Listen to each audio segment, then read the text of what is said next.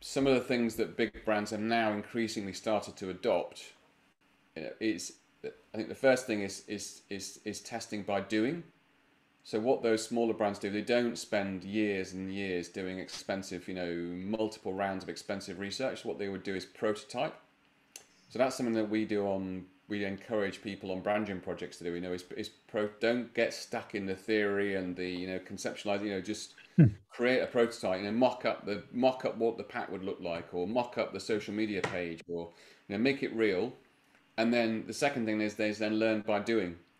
So uh, you know, get get it into test in a small number of stores with a friendly retailer, or you know, create a mock-up website and see whether people click to buy the product. So these sort of ways of ways of experimenting to accelerate the process of uh, innovation or renovation, you know, is, is probably the key thing that big companies um, and, and now increasingly have have learnt from those smaller brands.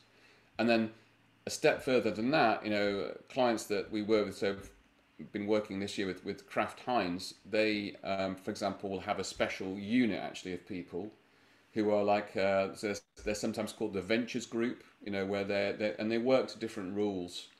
So they're able to work with third party suppliers to actually be able to produce at um, less, at lower scale. You know, so they're not, they're not obliged to have to use the existing factory and work. You know, need massive, you know, production runs. They can actually be much more create smaller volumes and then test by test and learn. So launch launch things into the market at small scale in a limited number of retailers, and then if they're successful, they can then scale up, and then they get handed back to the main business.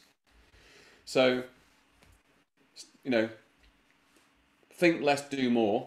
You know, is one of my favorite, you know, favorite phrases. You know, prototype, test, learn, and learn in the marketplace rather than in you know in countless rounds of you know what is often super expensive quantitative and, research.